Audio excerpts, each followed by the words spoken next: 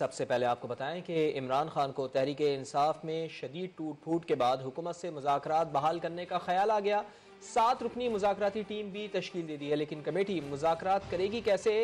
Shah Mahmood Qureshi jail में है। बाकी गिरफ्तारी के डर से रुपोश हैं। इमरान खान ने पीटीआई छोड़ जाने वालों की जगह नई तैनातियाँ भी कर दी हैं। इस्लामाबाद से टिका खान सानी रिपोर्ट करेंगे।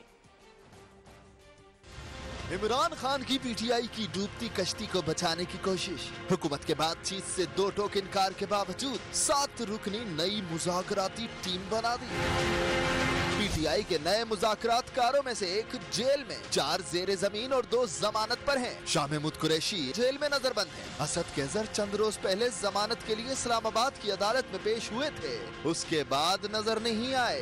परवेज खटक भी जमानत पर है। मुराद सईद, हलीम आदिल शेख ओन अब्बास बप्पी और हम्माद अजहर नौ मई के बाद से मंजर आम पर नहीं।